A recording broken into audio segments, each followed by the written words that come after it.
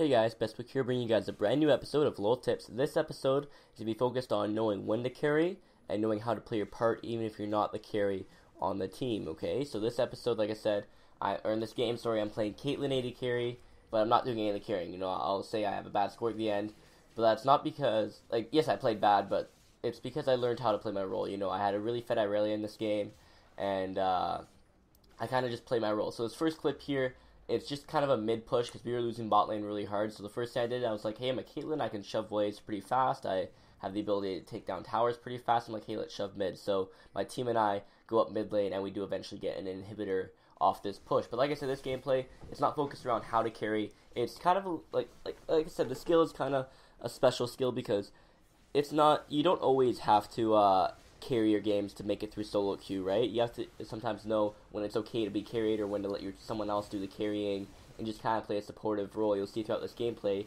I make a lot of decisions I normally wouldn't make, or I do a lot of things I normally wouldn't do, but I do it because I'm like it's gonna help my team win. So that's kind of like what it is all about, you know. Yes, KDA matters and such, but if you're getting the win over the loss, it's obviously a lot better. So, anyways, though we get the inhib off this push, everything's going pretty good. Uh, I know that. Uh, our Irelia, like I said, is pretty fed, and our Yi does get pretty fed near the end of the game as well. And yeah, so we just got the mid inhib for like a bunch of kills, and all their enemy team got was the bot lane outer towers and inner, inner tower, and then the top lane outer tower.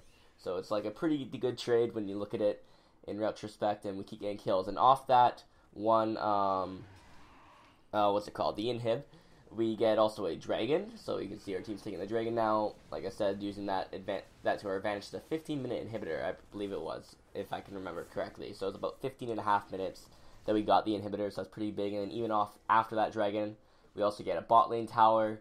So we get our bot lane tower, so that's already you know the three mid towers and the inhib for bot lane tower plus a few kills. Like that's a pretty good trade off and then we also after that get a top lane tower as well once I once we fail a fight down bot. But that's besides the point. Like I said, the main idea of this is that so far this game, yes, my score looks awful, but I'm gonna do my part. I've been pushing towers, and I've just been kind of using that as that to our advantage. The next clip is actually really it's a good play in the sense that yes, I will die here eventually to a Zed. But my team, they're forcing Baron, and I think he even types in chat, like, keep him occupied, Caitlyn, you know, keep him busy.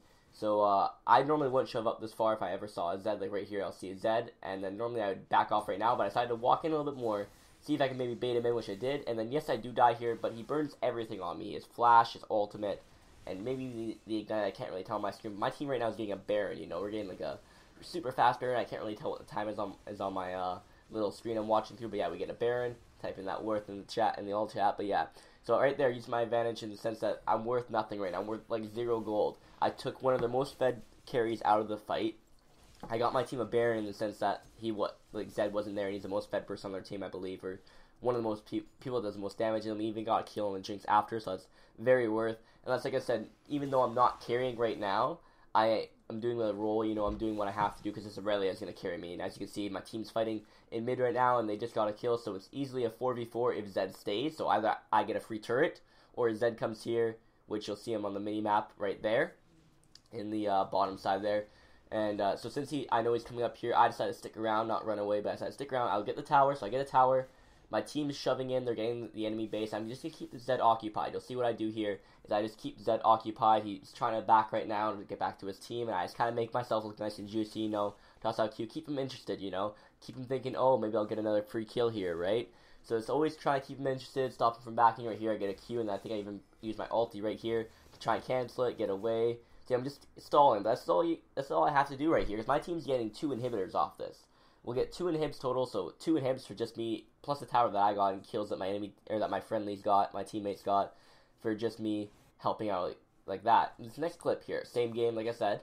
I'm gonna make myself look really juicy here and make the Zed go all in on me and take his focus completely off Dragon.